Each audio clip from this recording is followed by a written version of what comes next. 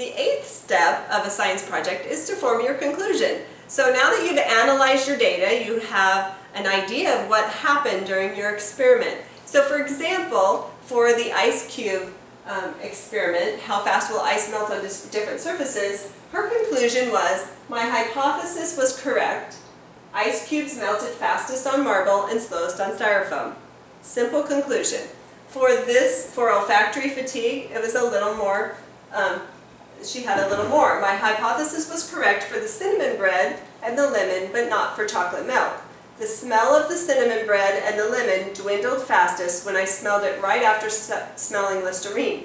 The smell of the chocolate milk didn't change, so it must use totally different smell receptors than the Listerine. Also, when things were hot, they smelled stronger at first, and they, the smell usually lasted the longest. So she learned quite a bit about the olfactory system through this project. You can see through her conclusion. And then finally, with this project, um, good bones, bad bones. The question again was, do different liquids change bone strength? Her conclusion was, my hypothesis was correct. The acidic vinegar made bones weaker, faster. Even though the bones in Pepsi and coffee did almost the same as the bones in water for the first few hours, they were able to bend further before breaking after four hours of cooking. The bones in coffee started breaking sooner than the rest, which makes me think they were getting brittle, so they had to be bent very carefully. After a few hours, the bones cooked in vinegar bent really far and were terribly mushy.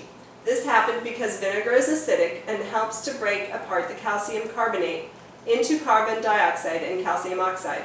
The carbon dioxide flies away, but the calcium oxide stays in the liquid. As I expected, cooking the bones in liquid did speed up the reactions.